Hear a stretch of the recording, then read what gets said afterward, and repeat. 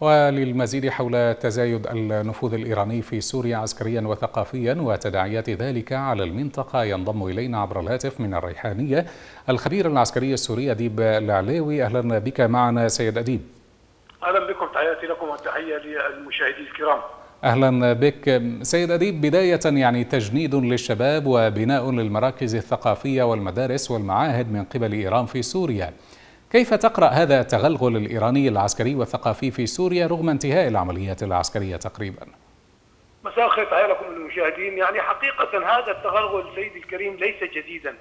يعني دعني أؤكد أنه من عام 1979 80 يعني بعد ما سمي بثورة ثورة الخميني المقبور كان هناك بناء كبير في مدينة دمشق وهو بناء المستشارية الثقافية الإيرانية والتي تضم آه، مئات بل آلاف الموظفين فيها. وهم آه، حقيقة كثر آه، يعني الموظفين بمعنى آخر أنها كانت عبارة عن مبنى مؤلف من من عدد كبير من الطوابق فيه الكثير من الموظفين. نشر ثقافة التشيع منذ عام 1980 هذا الكلام ليس بجديد. النقطة الثانية كان هناك آه، آه، مكان آخر وهو آه، يعني مجموعة من من المراكز الثقافية في منطقة السيدة زينب. الأهم من ذلك ومنذ سنوات كان هناك بناء لمجمع كبير في في طريق حلب إعزاز طريق كفر حمراء بعد قريه كفر حمراء هناك تجمع جديد كان في مدينة حلب كان يسكنه ويقطن به حتى هذا المجمع القنصل الإيراني الموجود في مدينة حلب كان يتواجد في في هذا المكان وهو عبارة عن عدة أبنية من فنادق ومكتبات وحسينية وما إلى ذلك.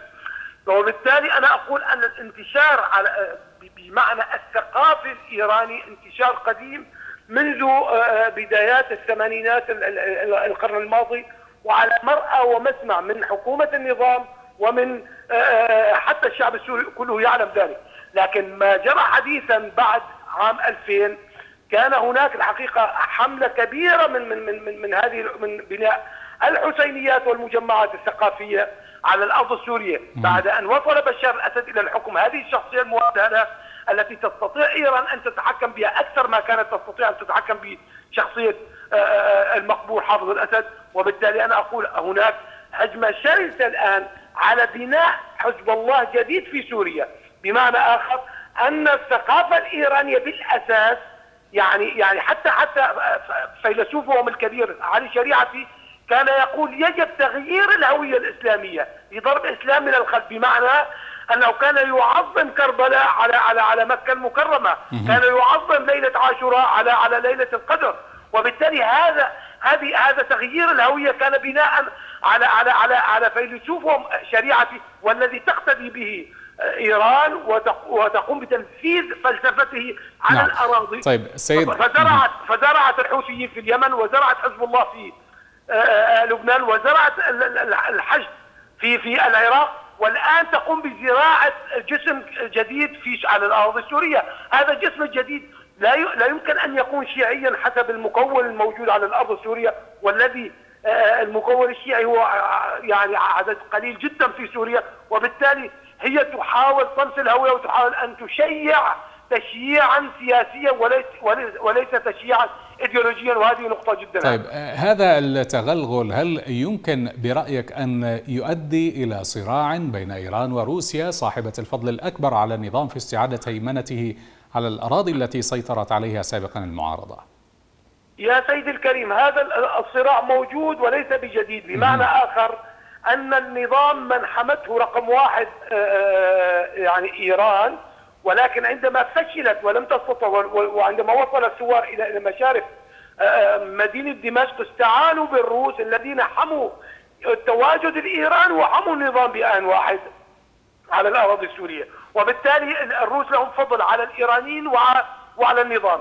لكن هذا لا يمنع من أن هناك تقاسم للنفوذ على الأرض السورية وهناك صراع كبير بين يعني مناطق النفوذ لروسيا ولإيران. حتى الجيش هناك انقسام بالولاء بين الولاء لروسيا وبين الولاء لإيران. ويؤسفني أن أقول أن أن أن أن طبعا القسم الأكبر هو في في الجيش. لا أعتقد أنه ولاءه لا لإيران ولا لروسيا ولكن يعني أجبر على أن يكون منقسما باتجاه إيران أو باتجاه روسيا.